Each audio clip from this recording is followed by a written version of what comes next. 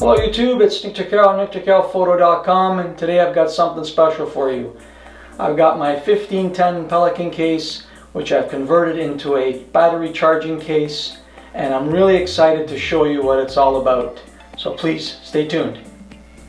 Basically I got my ideas from a bunch of YouTubers that have already posted videos showing that they've converted cases into battery charging cases which I thought was a fantastic idea and a great thumbs up to all those guys out there that have done that.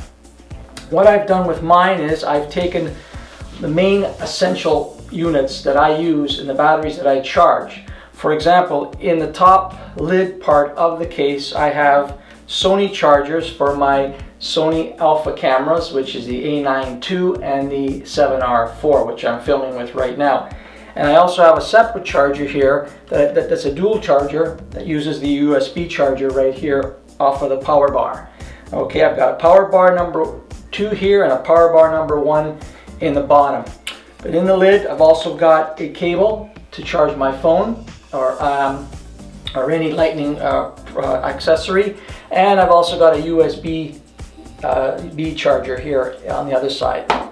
Okay, that's in the lid in the bottom of the case, okay, as if I lift it up to show you, you've got you've got the other other power bar, power bar number one.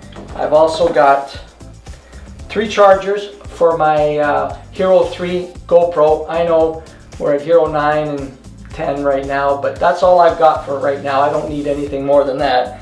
And then I've got a couple of uh, AA, AAA chargers on the bottom here by um, PowerEx. Okay, and then I also have for my drone, it's the Mavic Pro a charger set up for all four batteries here at the bottom, as well as the charger here and for the controller as well. And that's all hooked up to these power bars, as you can see. And I've basically cable managed everything as best as I could and neatly as I could.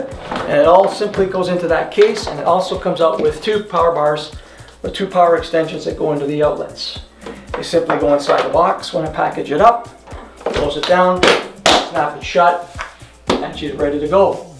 That is my station right now.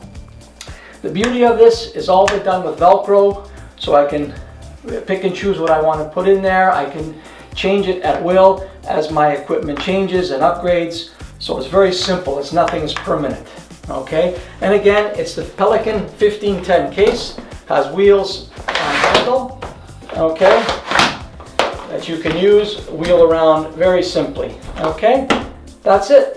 1510 Pelican case converted into a battery charging case. If you like this video, please give it a thumbs up. Leave a comment below. I'll answer every comment. And I really appreciate you watching this video. Stay tuned for more videos. Thanks a lot. Have a great day.